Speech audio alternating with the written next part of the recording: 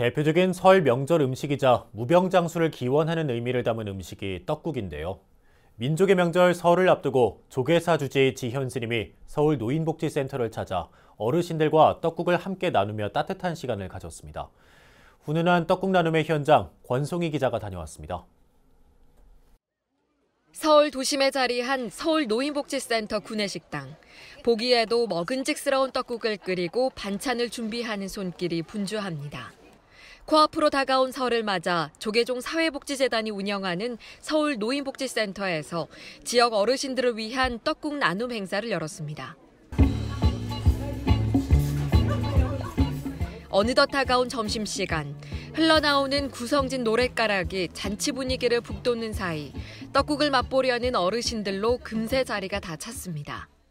서울 조계사 주지 지현 스님도 팔을 걷어붙이고 따뜻한 떡국을 직접 대접했습니다. 떡국을 먹을 어르신들을 위해 위생을 청결하게 하는데도 소홀함이 없습니다. 올해 제가 즐거운 것 같습니다. 예. 아, 날씨가 좀 쌀쌀해진 것 같아요.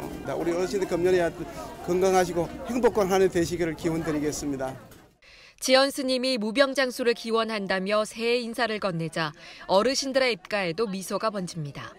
나누는 건 떡국 한 그릇이지만 정성은 어르신들 마음 깊은 속까지 전해집니다. 푸짐하거나 거창한 메뉴는 아니지만 끼니를 거르기 일수인 어르신들은 한 끼 식사가 소중하게 다가옵니다. 참 맛있습니다. 아, 이렇게 여럿이 있는 데서 얘기도 하고 또 서로 참 융하면서 노는 것도 재밌고. 큰 손님이 직접 갖다가 너무 좋아요. 그래 원래 내가 복을 많이 받았어. 건강이 첫째지. 무료 떡국 나눔에는 행복 나눔 가피 봉사단 50여 명의 사랑과 정성이 담긴 손길이 한데 모였습니다. 한 번에 1,200여 명 이상의 배식을 하는 일은 결코 쉽지 않지만 어르신들의 즐거워하는 표정만으로도 피로는 어느새 사라집니다. 나누기 플러스 한번 우리가 직접 끓여서 대접을 해드리자. 그래서 오늘 이제 저희가 이렇게 나와서 하는데 다소 좀 어려운 점은 있지만 그래도 좀 많이 뿌듯합니다. 불교계는 다음 주에도 서울 종로구 관내 쪽방촌을 중심으로 떡국 나눔을 이어갈 예정입니다.